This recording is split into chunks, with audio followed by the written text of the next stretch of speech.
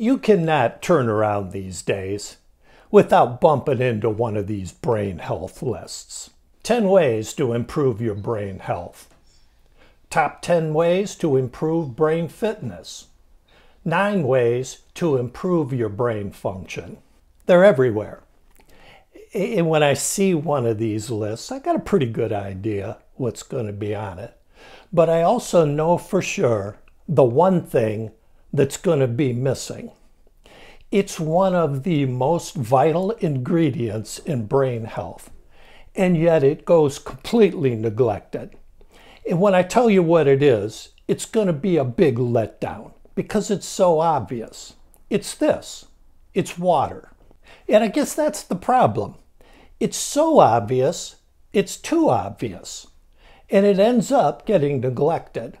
But here's the reality if you aren't drinking enough water on a daily basis, and many people aren't, it can cause cognitive problems, or if you're already experiencing cognitive impairment caused by something else, dehydration can accelerate that cognitive loss.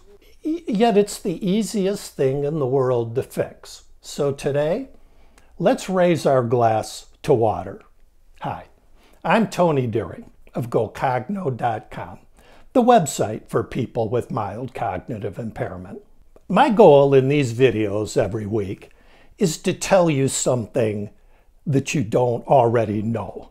And you know that water is the foundation of life and essential to survival. But what most people don't realize is how uniquely important water is to your brain and to cognition. Your body is 60% water, but your brain is 80% water. And that water is essential to how well your brain functions. Yet, the amount of water that we need on a daily basis, which is about 64 ounces, most people aren't getting that much water and they're paying a cognitive price for it.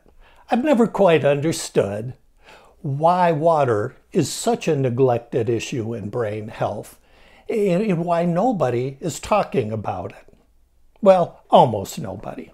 One of the exceptions is Dr. Lisa Mosconi, one of the nation's leading authorities on cognition and prevention of dementia and author of the book Brain Food. In her book, she devotes an entire chapter to the vital role that water plays in cognition.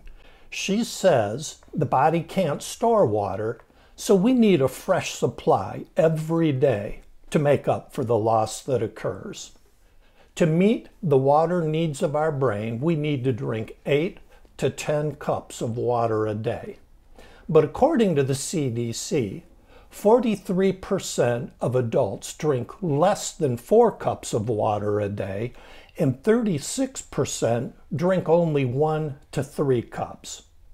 The result is dehydration, and that dehydration accelerates the brain shrinkage that occurs either with normal aging or with cognitive impairment.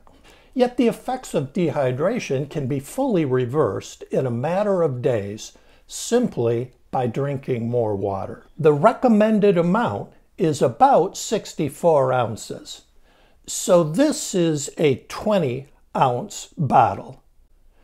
That means in order to get the proper amount of water, you would need to drink three of these a day, plus a little bit more. Granted, that's a lot of water. It's more than most people drink, and it's definitely more than I was drinking until I began to really understand the importance of water and brain health and make sure that I was getting enough water. This is one of the easiest fixes I will ever offer you and one of the most important.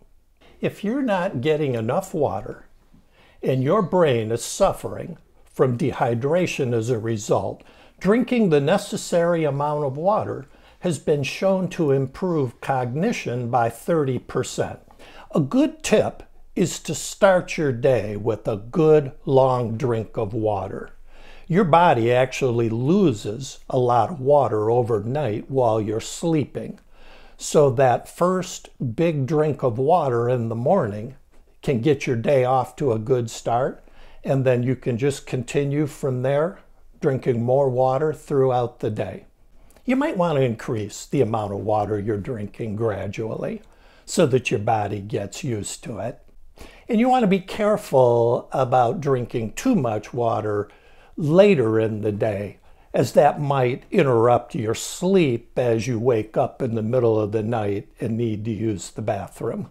You also want to be aware of the quality of your tap water and consider filtered water if that makes sense. But with those things in mind, drink enough water. Your brain needs it, and your cognition will benefit from it. I hope this was helpful to you today, and I look forward to seeing you again next week. Until then, as always, be kind to your mind.